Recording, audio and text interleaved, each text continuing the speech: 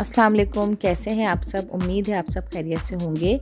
मैं भी अल्लाह का शुक्र है, बिल्कुल ठीक ठाक हूँ। अब तक जिन फ्रेंड ने मेरा चैनल सब्सक्राइब नहीं किया है तो प्लीज़ मेरे चैनल को सब्सक्राइब कर लीजिए और वीडियो पे लाइक का बटन दबाना ना भूला करें। Thank you so much last video जो मैंने आपके साथ शेयर की थी, वो माइयों की मेकअप की थी।